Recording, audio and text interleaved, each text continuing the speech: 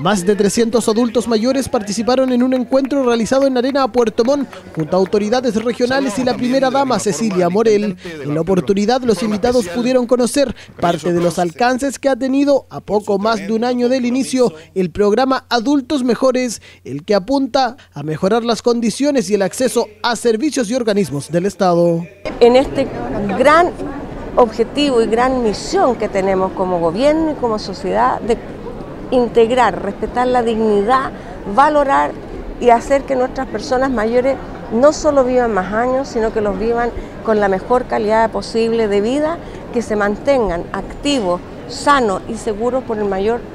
tiempo posible, que es lo que además hoy día son las personas mayores mayoritariamente personas autónomas e independientes. Otro de los alcances que tuvo en la locución de la primera dama fue el inicio y la firma del convenio con alcaldes de la zona para implementar la iniciativa Ciudades Más Amigables, el que busca transformar las comunas en espacios aptos para el envejecimiento activo y positivo. Pero no podemos olvidarnos de el 84% de nosotros somos autovalentes, funcionales, autónomos e independientes. Y por eso nuestro programa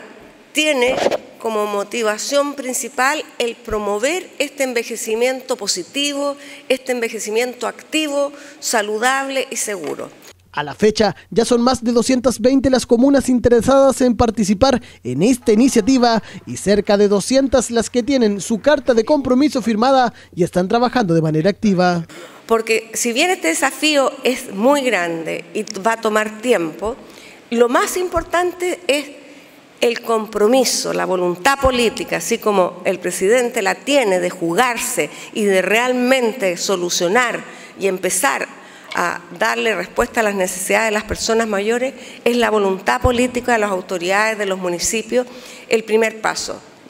De ahí vienen muchos otros que ya se han explicado y en los cuales el Senama los va a apoyar técnicamente. La actividad desarrollada durante el jueves en el recinto Arena de Puerto Montt convocó a un gran número de adultos mayores de diferentes puntos de la región, quienes junto con conocer a la primera dama pudieron ver los stands de diferentes organismos gubernamentales a fin de solucionar cualquier duda e inquietud.